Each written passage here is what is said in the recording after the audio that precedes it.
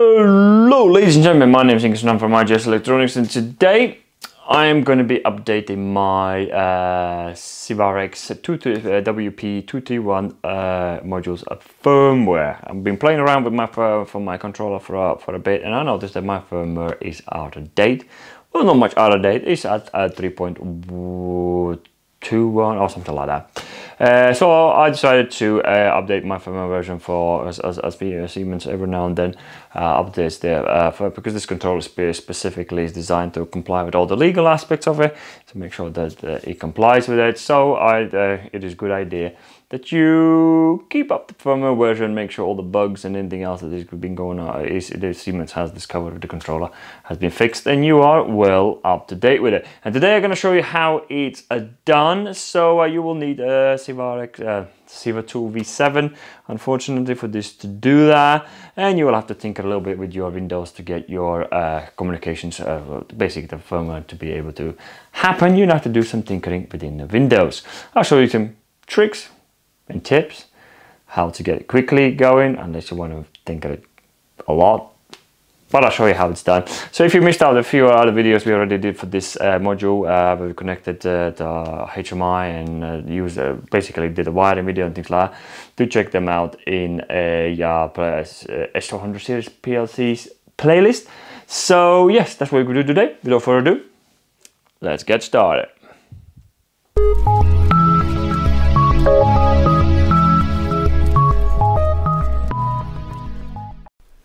So here we are. So once you click at the link in description below that says firmware Siwarex WP231, I will take you to this page and this is where you can find all the updates for this uh, particular module that we are working on today.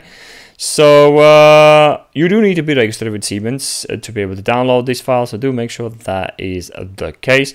As you can see the update uh, to firmware from firmware uh, to 3.2 0.1 is recommended. So that's exactly what we're going to be doing. And also you have information here how to do it. So uh, once you open them out, it's, it's only about a few pages in here. This part in here is fairly easy straightforward but when it comes down to windows this is where things start getting tricky so this part tftp client uh, turning on that one that's no problem but after that because my windows is windows 10 maybe something is different i could not find any of this in my uh, uh, when it comes down to down Windows Firewall, so they cannot find any of these settings. So I just thought, you know what, I enough. I just turned Windows Firewall and Windows Defender off, and the problem disappeared, and I was able to update my uh, uh, card itself, the actual Siwarex module. So if you're having this problem, disable the Windows Firewall, and you should be good to go. So once you've done that, the file's been downloaded. It will come in into a uh, uh, uh, WP, uh, no, what's that, WinRAR, in my, in my, in my case, it's WinRAR, but zip file. As you can see, there is two files in there, which is completely doesn't make sense to me whatsoever. But the main one you need to uh, yeah, uh, concentrate is this guy in here. He's got the two files in there. One is the firmware, that's the one we more or less need. And also a couple of things for Siwatool to add. Language goes into data file and Siwarex goes into a firmware file.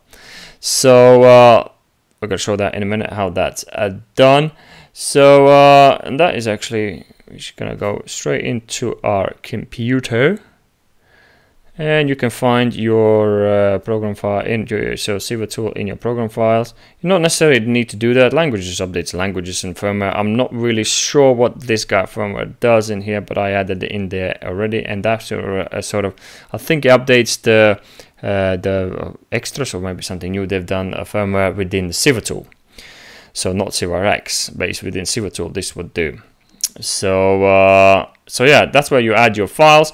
So once we start up a Siwatool, once we've done that, we are able to start up Siwatool. And as you can see now, I have two options here now. At the beginning, I had only uh, for this particular module it was uh, 3.1.1, but now it's 3.2.2. I cannot perform firmware update with 3.2.2. I don't know why, it just comes up with the error. So uh, I just go straight back to the older version, which, which uh, well, older firmware, and it seems to have absolutely no problem with it. So that's the one we are going to be going with. Another thing what we need to do, because my controller is connected to the uh, uh, S400 series PLC, so we need to make sure the PLC is in start mode. So what we're going to do in here, quickly activate my, uh, let's go online, activate my, uh, uh, well, stop my PLC. So here we go. So we should be able to stop my PLC there. Here we go, the PLC stop. And also, in case you're not sure that the IP address has been changed for your uh, uh, Siwarex module, you can find that out in here in, in your TIA portal. You will be able to, because my, uh, obviously, you the, uh, connect your uh, uh, Ethernet cable to it to make sure you're able to discover it. My one is oh my my K Ethernet's on HMI and everything's connected via the switch. So uh, as you can see, oh HMI is not even connected yet. So as you can see, uh, my my it tells you my, that my IP address is uh, this guy in here, which is A21, which is the old default address, which is great. We don't have to change anything. So uh, that's how you would find your IP address. So from there on, if we go back to the manual, where's the manual? Is it in here? No, wrong one. I think we just closed the manual, aren't we? Ah, so let's go back uh, quickly. Uh, manual, open up in here. Uh, if you look at the manual, the, what Siemens does say, it is advising for you to do the backup. It doesn't mean it's not good. when it does the firmware update. It doesn't really it doesn't really change much of the settings in your controller, but things can go wrong. So it says down here, if the module stays in error, we detect some error data after rebooting. You need to uh, uh, you know uh, do the backup file. So we, that's what we're going to do. We're going to back it up to make sure uh, we have that option. So here we are. So, ooh, that was a bit slow. So uh, let's go online. So if you come, uh, I'm not going to go through much of uh, uh, information in here how to go online. I have made video already for that, so do check out. If you're online, doesn't happen, so do check out video in the in the playlist of uh, where we played how to connect to the Siwatool. So uh, as you can see, this is the data in a controller. So that's what we want to pump out. So we're going to go for communications and then we're going to receive all the data out and let him do that now. So uh, and pump out. It should sometimes it takes long sometimes it doesn't. It's depending on what he's trying to do. But you know when everything's been done starts getting there we go. So all most of the stuff it becomes uh, in here uh, what they call black. So but as you can see my status bar still stays is still collecting some data so it hasn't done it yet. So we have to wait for that to finish there we go, that's done. So uh, from there on, what we're gonna do, we, we, we can now we can now go offline. We don't need to be online. So uh, come on. Oh, the thing is getting slow again. Offline, please. Damn, that was so that that was slow. When it gets that slow, guys, restart the whole software and start go again. So uh, as you can see in here that's my file. What we're going to do we're just going to go in files and then save as we're just going to basically just back up the file. So I already done that before. So here we go there's my file. Just save it for a rainy day so you have all the settings changed. Saved. So once you've done that you're pretty much ready to go. So uh, what we're going to do in here there's a link in a file to, uh, file for download so let's click on that one and go and find that file where we stored that firmware.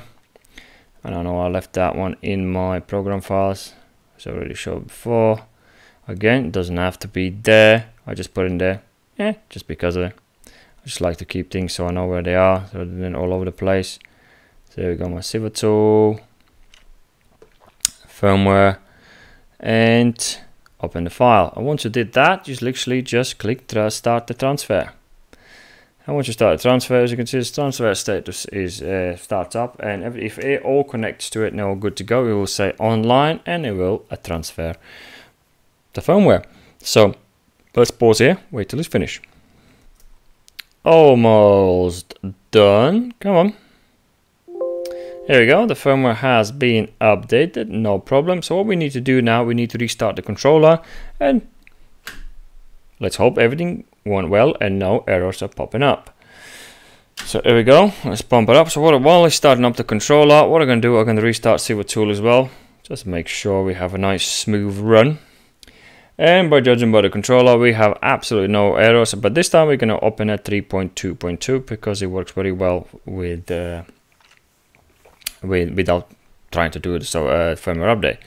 So come on, That was a bit longish. Ooh, that's not very good. That's not very good at all. So, uh, so one thing we're gonna do, let's check if everything went all right. Let's go online. So, uh, so here we go. So that popped up, and as you can see, my firmware version is on this side now shows a 3.2.2. As you can see, these these dates in here. 3.2.2 and firmware version has been updated and as we don't have any errors we do not have to do any backup. But if you do do make sure that you are uh, online. First of all to be able to open the file just go in offline. Once it's going on offline as it's taking its time there you go, go in offline and then you'll be able to uh, reach your file and so on and so on. Open, open up the file. And one last thing, you need to make sure that you are in a service mode and, and you can get service mode when you're back online. So, uh, and that's just then that's pretty much just go into communications and just then uh, send all data. So, and that's, ladies and gentlemen, will do for this video. Hopefully it's helping you out. It's giving you a good idea most definitely I had a bit of a challenge with this, especially when it came down to uh, Windows and trying to work out why uh, uh, 3.2.2 uh, Civ 2 wasn't wasn't actually uh, able to update the firmware. I still don't know why that is the case. So hopefully, if Siemens is watching, do leave me in a uh, comment below and tell me where I've gone wrong. So other than that, ladies and gentlemen, hopefully this has been helpful and gives you good ideas. So uh, so yeah, and uh, thank you very much for watching. If you like the video, don't forget to smash that like. Do subscribe if you're new to the channel and you like what we're doing here. And don't forget to ask questions if you do have any questions, and I'll answer as soon and as accurate as I can. Other than that, thank you very much for watching, and I'll see you in the next video.